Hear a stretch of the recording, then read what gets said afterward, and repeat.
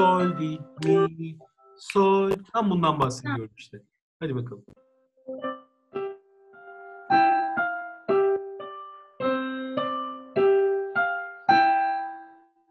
Aferin.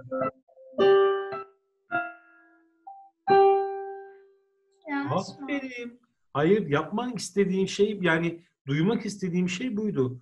Minicik bir yanlış nota orada problem değil ama tartımı yani zaman değerini doğru vermek çok önemli. Bir kere daha yapar mısın rica edeceğim. İyice otursun Dilanurcuğum. Biliyorum. Tamam.